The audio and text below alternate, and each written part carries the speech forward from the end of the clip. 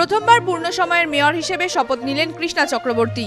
একই সঙ্গে শুক্রবার চেয়ারপারসন পদে শপথ গ্রহণ করলেন একত্রিশ নম্বর ওয়ার্ডের জয়ী তৃণমূল প্রার্থী সব্যসাচী দত্ত। পাশাপাশি এদিন শপথ নিতে দেখা গেল একচল্লিশ জন নবনির্বাচিত কাউন্সিলরদের। মেয়র পদে শপথ নিয়েই বিধাননগরের উন্নয়নের জয়গান গাইলেন কৃষ্ণা।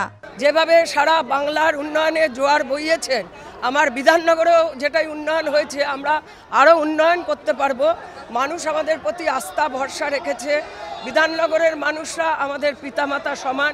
আমরা তাদের কন্যা সম, আমরা আমাদের মা বাবাকে, আমরা সমস্ত কিছু দিয়ে কন্যা বা ছেলে যেভাবে রক্ষা করে, আমরা করব এবং বিধাননগরের উন্নয়ন আমরা অনেক করেছি।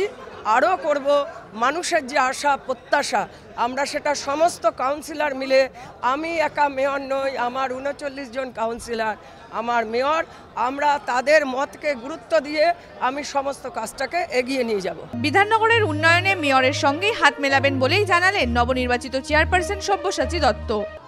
একদম একটা টিম টিম মমতা ব্যানার্জি যেভাবে আমাদের দায়িত্ব দিয়েছেন বিধাননগর পৌর নিগমের সকল বাসিন্দার অভাব অভিযোগ শুনে মমতাদির আশীর্বাদ নিয়ে আমরা প্রত্যেকে সেটাকে পূর্ণ করতে পারলে নিজেদের ধন্য মনে করব।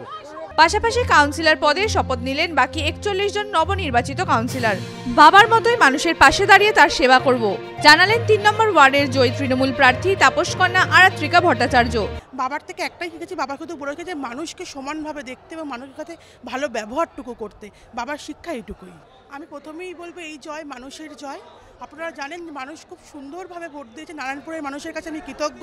নারায়ণপুরের মানুষকে আমি ধন্যবাদ জানাচ্ছি।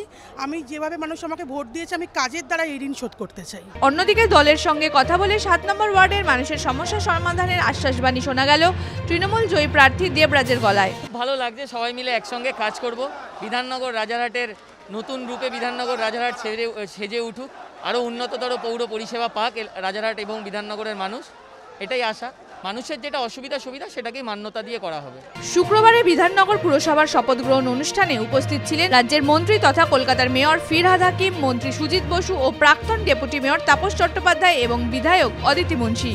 বিধাননগর এই কর্পোরেশন তৃণমূল কংগ্রেসের কর্পোরেশন এবং মমতা বন্দ্যোপাধ্যায় বিধাননগর মিউনিসিপ্যাল কর্পোরেশন করেছে। প্রত্যাশা অনুযায়ী ভালো কাজ করেছে। আগামী দিনে আরও ভালো কাজ করবে। বিধাননগর একটা আধুনিক সিটি যেটা বিধান রায় স্বপ্ন দেখেছিলেন। অনেক দিন সেই স্বপ্ন পূরণ হয়নি, এখন পূরণ হচ্ছে। এরপরে আরও আধুনিক, আমাদের জল এসে গেছে, যেটা বিধাননগরের মেন সমস্যা ছিল। পরিশোধীয় পানীয় জল এসে গেছে।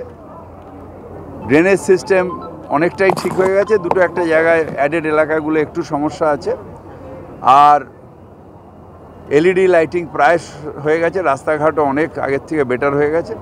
সুতরাং বিধাননগরের পরিষেবা একটা বিশ্বমানের পরিষেবা এরা দেবে এবং মমতা বন্দ্যোপাধ্যায়ের যে চিন্তাধারা, যে ভিশন সেই ভিশনকে বাস্তবায়িত করবে। খুব ভালো খুব ভালো, দারুণ একটা ভালো খবর, ভালো সময়। আমার বিশ্বাস বিধাননগরের মানুষকে অনেক বেশি বেশি ধন্যবাদ। এই জয় তাদের অনেক বড় অবদান।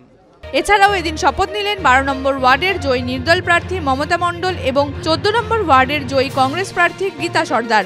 পাশাপাশি শপথ গ্রহণের অনুষ্ঠানে উপস্থিত ছিলেন দলের সমর্থকেরাও। সাধারণ মানুষের আশীর্বাদ নিয়েই বিধাননগরের উন্নয়নে সামিল হলেন একচল্লিশ জন নবনির্বাচিত কাউন্সিলর। ক্যামেরায় মনোজিৎ রায়ের সঙ্গে সৌমিতা ভট্টাচার্য, আরোহী নিউজ কলকাতা।